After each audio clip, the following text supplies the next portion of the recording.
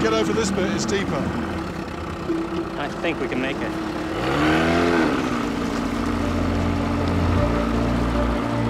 Is it possible that no human has ever been this way before?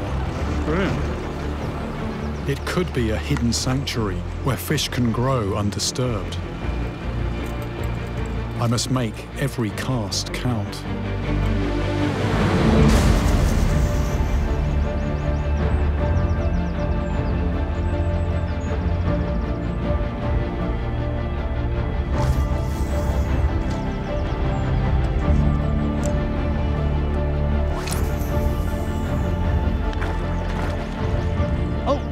Was something hitting it on the drop, and it's still after it.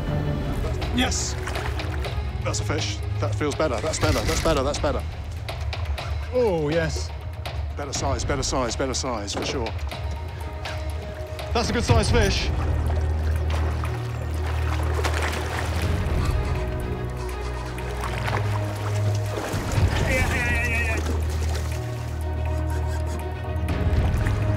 There it is.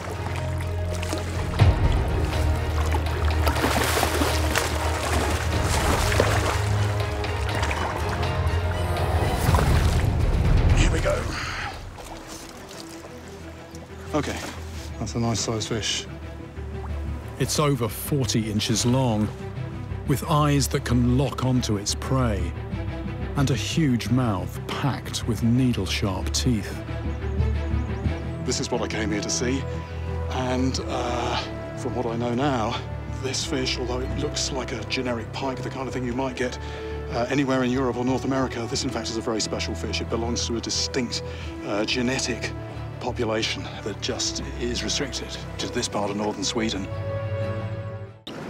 Yeah, we have one. Right. Could it finally be on the end of my line? That's the kick. Yep. Yes. This is a good fish, good fish. That felt like a tail whacking the line. Yeah, it pulled the other way. Uh, yeah, this is a heavy fish. Heavy fish. Uh, it's gone the other way. I need to keep the line clear of snags. If the fish wraps it around a rock, it will all be over. There it is, on the surface. Yes. Belly is hitting the shallow water now. I'm gonna try and bring it in the middle here. It's coming in. Yeah, yeah, yeah, yeah, yeah, yeah.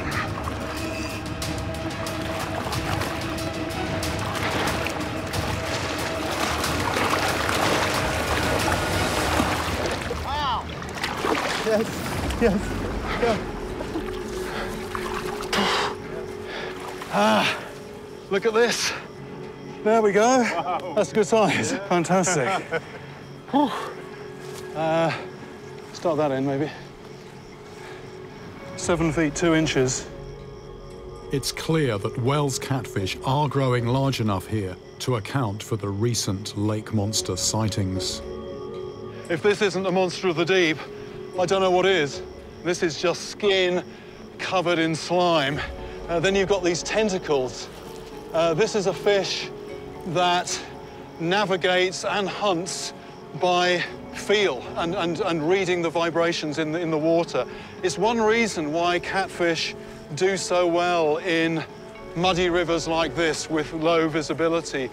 But the big thing that you just can't help but notice is this enormous mouth.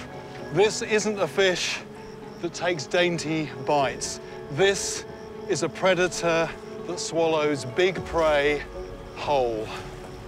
Just a massive fish, massive.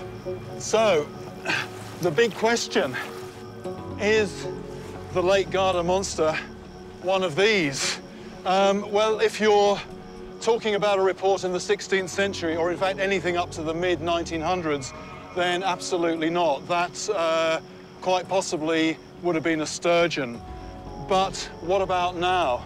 This water behind me connects with Lake Garda, and if a fish like this can be here, then there's every reason to suppose that there might be something like this hiding somewhere there.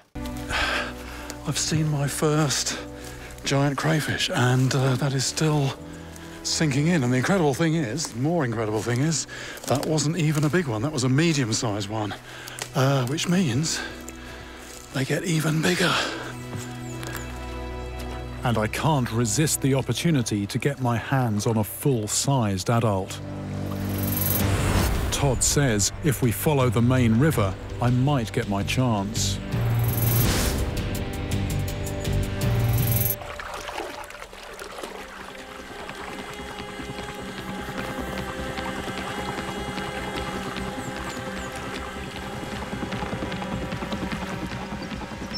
Is that one there?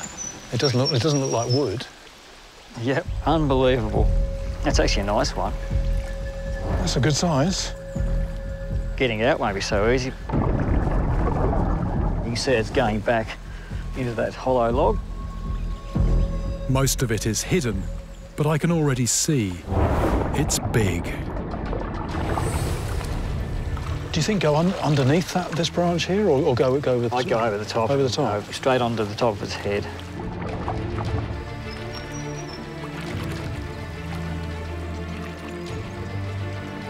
Oh, he's just gone back. Going back in. you? Gone back in.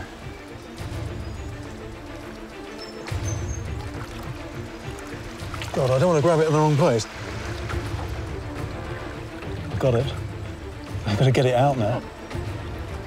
Hold on. There we go. Yes. Yes. Who would have thought you'd need two hands to hold a crayfish? This one is enormous, and there's no way I'd want to tangle with these claws. It's one of the largest Todd has ever seen. He estimates it must be nearly 50 years old. This one is a male. Two big differences the lack of eggs under the abdomen, but also the size of those claws, those pincers. Uh, absolutely formidable on this. It's one of the most incredible creatures I have ever held. It's a bit alien-like, and I can hear its mouth parts moving. Never seen anything like it in fresh water. What a spectacular find. In Australia investigating how the once teeming Fitzroy River now appears to be empty of big fish. And I've discovered there could be an unusual cause. Poisonous cane toads. Can I have a look? Can I get through? Where is it?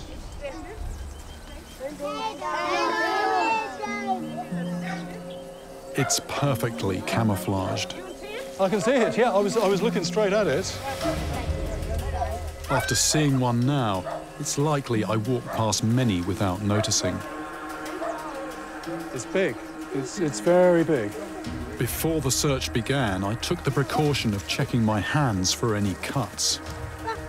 There we go. Getting any cane toad poison into my bloodstream could trigger a fatal heart attack. This is the first time I've seen one of these. It's strong. It's very muscular. This is a big toad, and one part of it makes it potentially lethal. So the whole reason these animals are such a problem is these uh, these poison glands you've got on the neck. And it's toxic at all stages. This applies to the tadpoles. It applies to the eggs. So in terms of a survival um, mechanism, it, you know, it, it's it's a really really good defense. Cane toads are capable of killing anything that eats them, in water as well as on land, including fish that normally prey on native amphibians. When I was hearing about the disturbances, you know, the strange things happening in the Fitzroy, I was thinking some kind of new predator. But I wasn't thinking of new prey. Here's an animal that's dangerous not because of what it eats, but what happens if something else eats it. And along with their poison, it's the cane toad's ability to cover ground that makes them such a massive threat. It's going to surface. It's going to surface. There it is. There it is. There it is. There it is. There it is. Running again. Leaders in sight. Leaders in sight. Can you see the fish?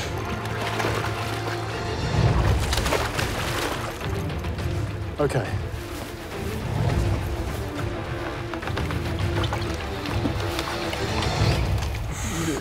We have it in the boat. We have it in the boat. Dusky cob. This is what I was after, and it's a good sized one. Dusky cob spend most of their life in the sea, but also migrate into rivers. At just over five feet long, this shimmering fish is easily woman-sized. Mark, my guide, has already confirmed that cob have a red reflective layer in their eyes. So have I finally got my hands on the silvery creature behind the mermaid mystery? So I'm thinking for some of those stories at least where people claim to have seen a supernatural creature, a mermaid, breaking the surface of the river, I actually think this real life, flesh and blood creature was what they saw.